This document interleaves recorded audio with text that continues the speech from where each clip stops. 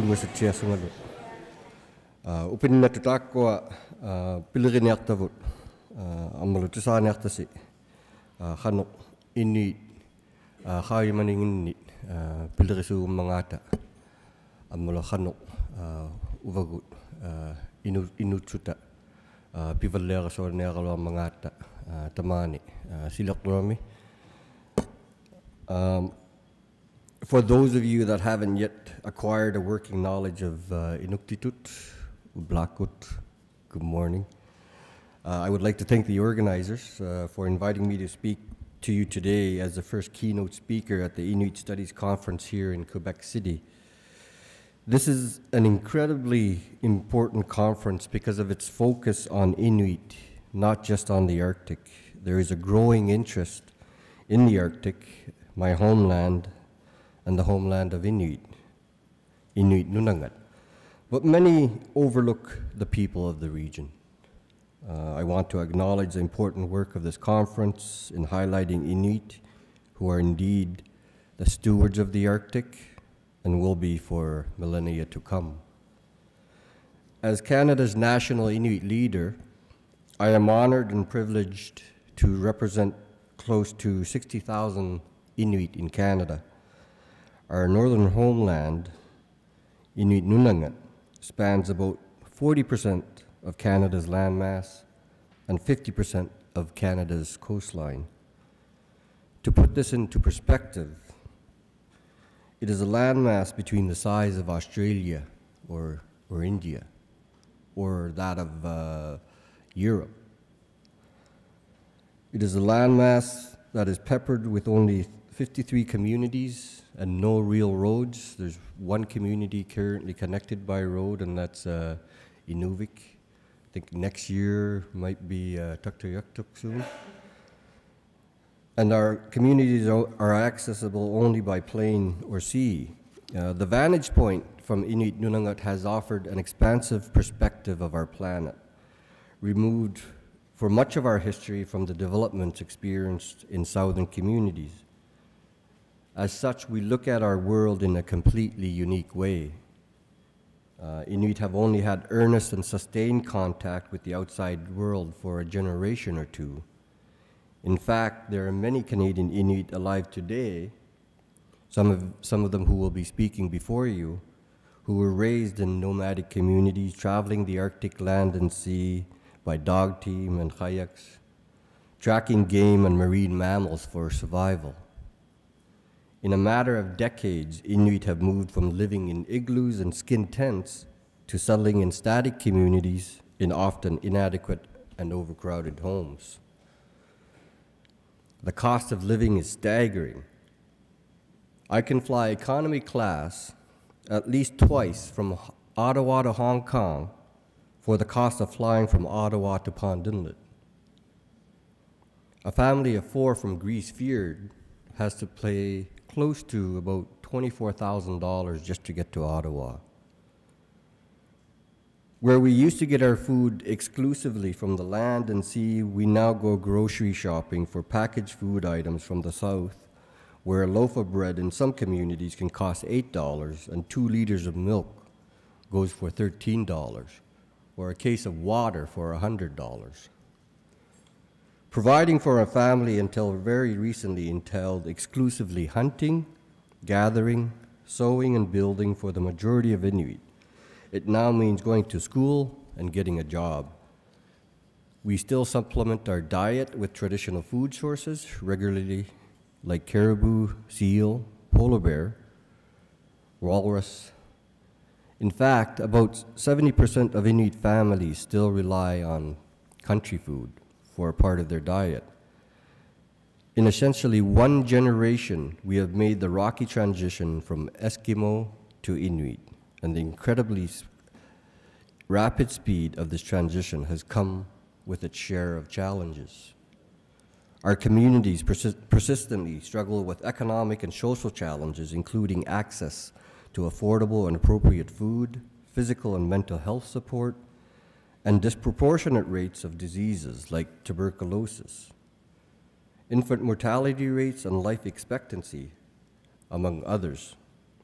As we work to combat these troubling challenges in our communities, we are actively working to find ways to improve our economic prospects with innovative investments, new jobs, and renewed confidence among our people. The remoteness and relative isolation of our communities for thousands of years has allowed us to learn from the past. In a way, that isolation has been our saving grace based on our abilities to, to look at the rest of the world and see what it is that they're doing wrong.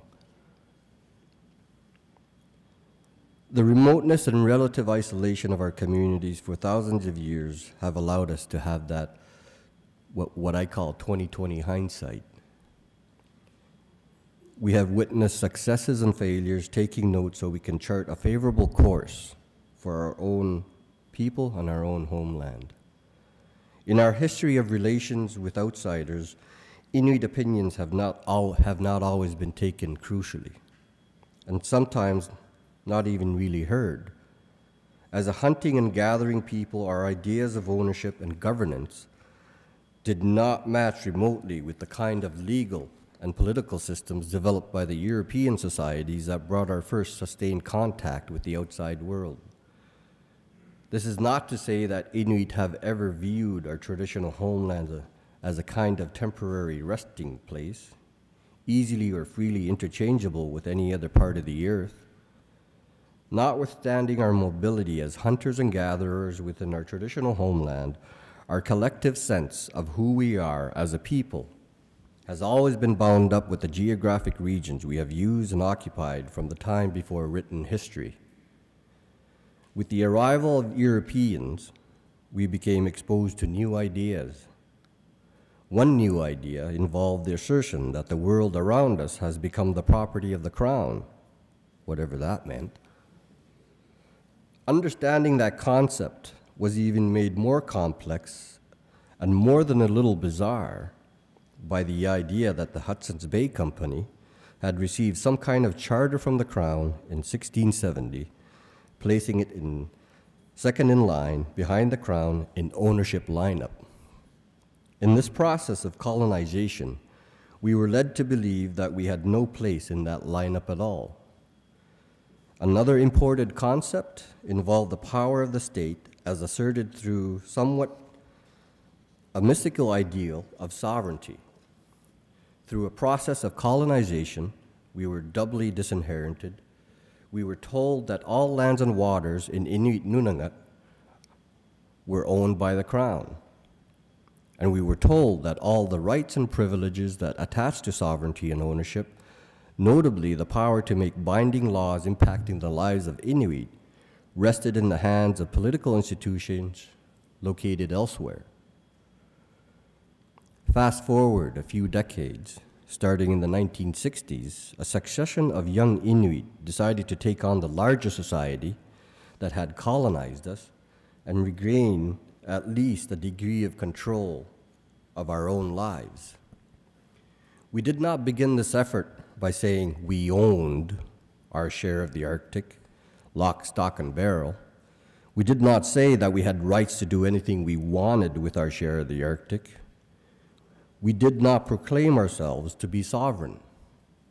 We took the approach that our decolonization had to feature a fundamental reassertion and rebalancing of our rights and responsibilities with others, including governments located outside the Arctic.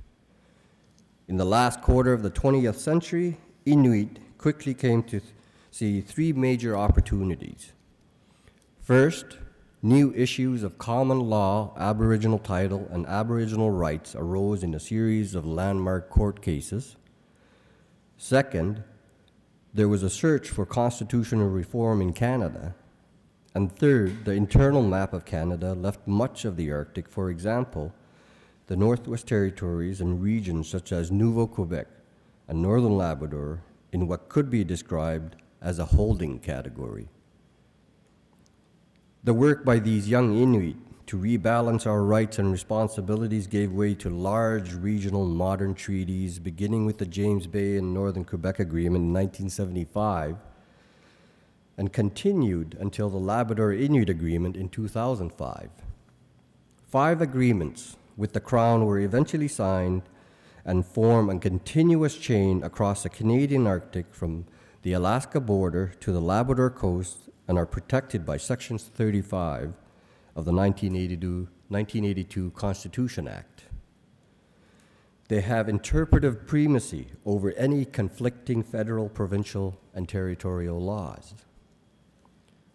Together, these treaties make Inuit the largest non crown landowners in Canada by a considerable distance, and much of this land has rich mineral potential. And our treaties provided us with capital funds to kickstart economic development ventures. The Arctic was removed from mainstream political focus, but at the same time also removed from some traditional barriers to political change. Our land claims agreement with the Crown and other political achievements have opened a new chapter.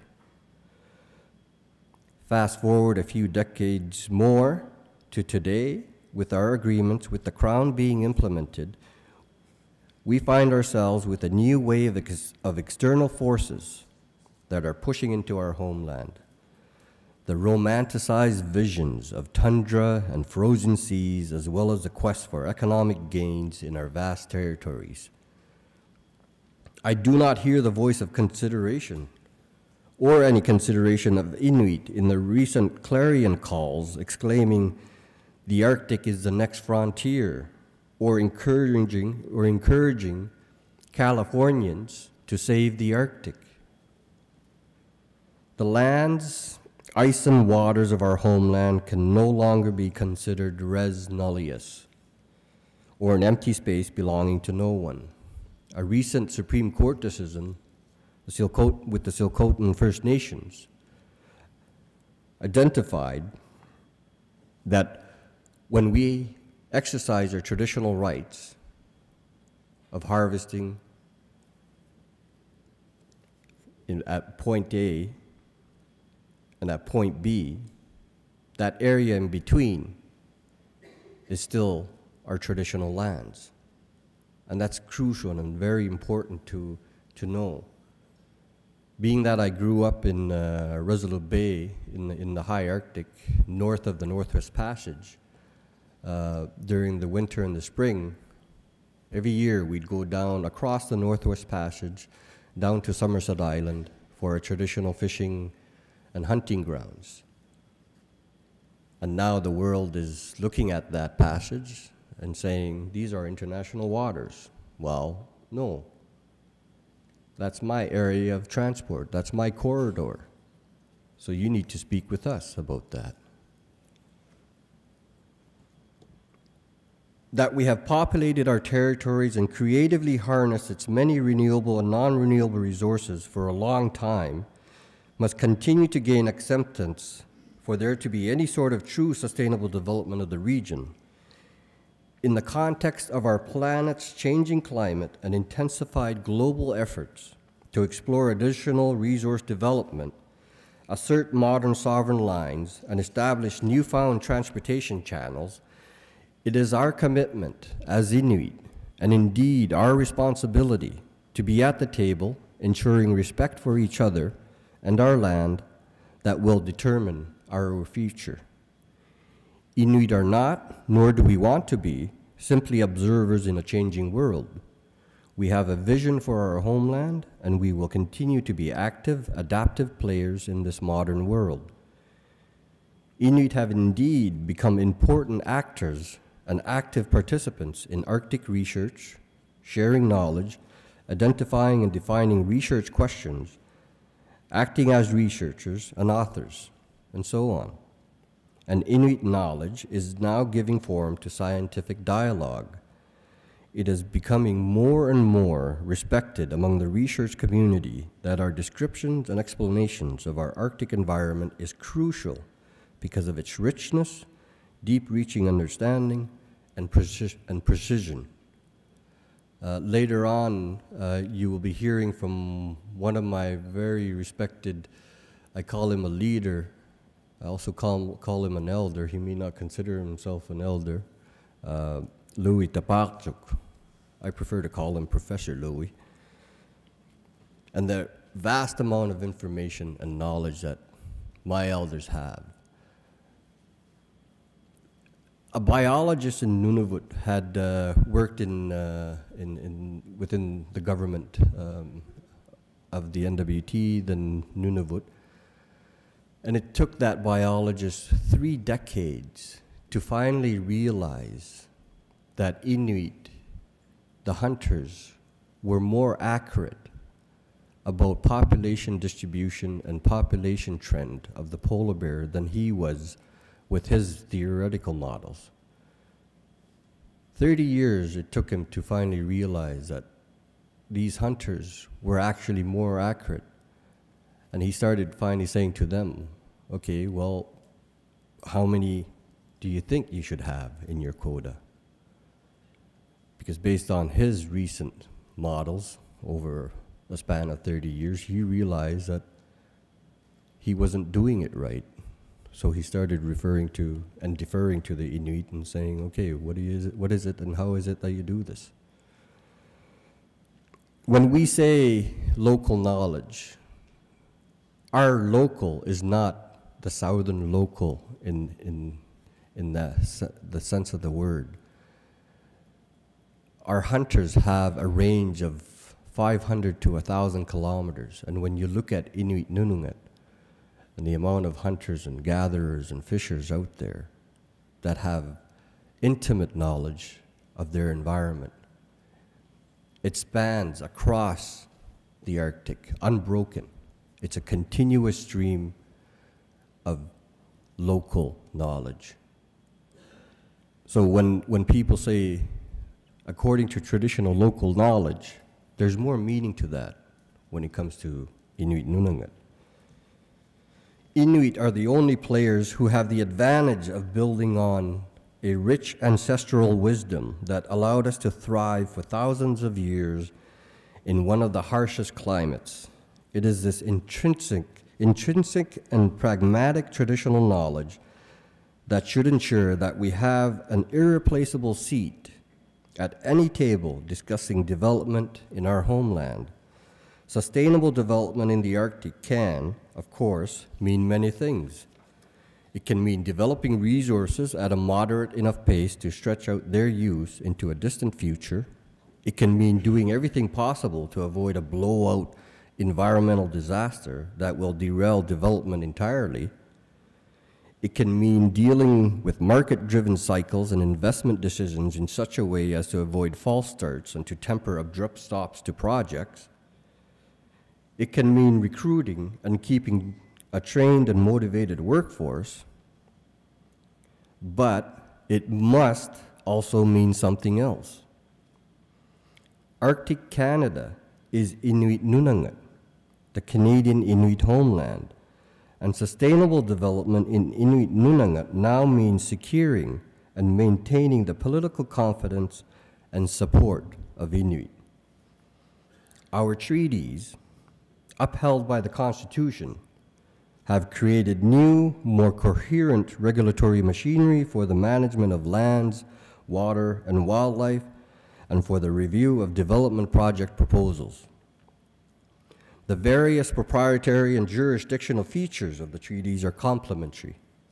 They govern how development will take place. They guarantee a strong, if not exclusive, role for Inuit in the assessment of development proposals. These agreements do not give Inuit an unqualified veto on most forms or occasions of resource development. They do, however, create a kind of tripwire with a very clear message attached. And what is that message? It is that proponents of major development projects in our homeland should actively seek Inuit partners. And in all cases, they must turn their minds to how their proposals can develop and can deliver maximum sustainable benefits to any communities and households, as well as returns to their shareholders. We know that to own our future, we must achieve a new level of economic self-sufficiency, and to do so in ways that bring our cultural values into the new economy. And we must pursue that new economy in ways that are environmentally rational and responsible. Our work towards enhancing rights within Canada has been accompanied by parallel efforts, along with Inuit from the rest of the circumpolar world at the global level. In that regard, Inuit played a key role in the creation of the Arctic Council. We were heavily involved in the 20 year development of the United Nations Declaration on the Rights of Indigenous Peoples. More recently, we have worked together at the circumpolar level to provide the world with two key declarations as to the Inuit view on some key Arctic topics. In 2009, we released a Circumpolar Inuit Declaration on Sovereignty in the Arctic, and in 2011, a Circumpolar Inuit Declaration on Resource Development Principles in Inuit Nunaat. For those of you not familiar with them, I encourage you to become familiar with those important documents.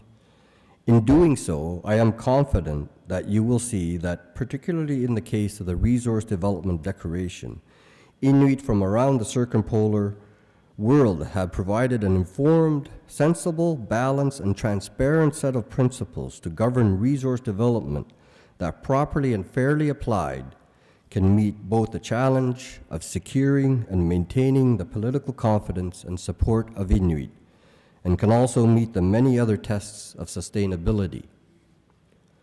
Ultimately, our objective is to encourage social well being and build self reliance, as we always had been prior to European contact. We must continue to take the long view. While the development of oil, gas, and minerals may be the key to our flourishing, we cannot afford to take a narrow perspective. Climate change is a prime example. The Arctic has proven to be a harbinger of change in our global environment, the proverbial canary in the coal mine. Indeed, Inuit were among the first to raise the issue of the world's changing climate with the thinning of the ozone layer, an appearance of PCBs and persistent organic pollutants, and so on in the Arctic environment. In recent years, Inuit have seen countless campaigns, oftentimes well intentioned, emerging from the south to save the Arctic, but few of these campaigns actually make an effort to engage those who still live in and off the Arctic land and sea. Inuit experience the ongoing changes in the Arctic firsthand, and we know that much of what we are now seeing are not a result of our own activities Save the Arctic campaigns need to first look at what is happening closer to their own backyards before setting their sights on our homeland. Drive your cars less, reduce, reuse, and recycle. Look at where the pollutants are actually coming from as simple examples. If you want to stop the oil and gas industry, diminish the demand. Very simple. Similarly, our Arctic wildlife are inappro inappro inappropriately being used as poster species in climate change campaigns. A recent program on the Canadian Broadcasting Corporation, The Politics of the Polar Bear, Threatened Species, or Political Pawn, finally shed light on an issue that Inuit have been talking about for years while decades old projections predicted dramatic declines in polar bear population due to changing sea ice conditions, recent studies, both on population estimates as well as the health of polar bears, do not support those hypotheses. These studies indicate that the polar bear population in Canada, where more than 60% of the global population reside, is both stable and healthy, and in some areas on the rise.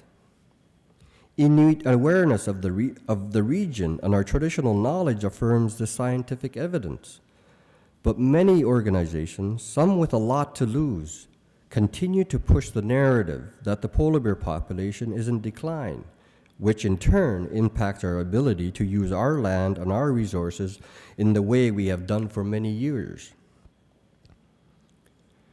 Despite the long history of efforts towards cooperation, Inuit still find it difficult to raise awareness, awareness about the value of our governance and decision making systems, as well as our knowledge and our Arctic vision.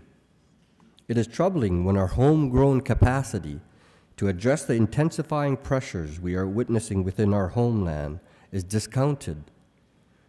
We continue to assert ourselves as modern participants in today's world. Despite the challenges, we are making strides, and I have great hope for our communities and our people now and in the coming generations. Because in the end, Inuit have been and will continue to be stewards of the Arctic for millennia to come. Thank you.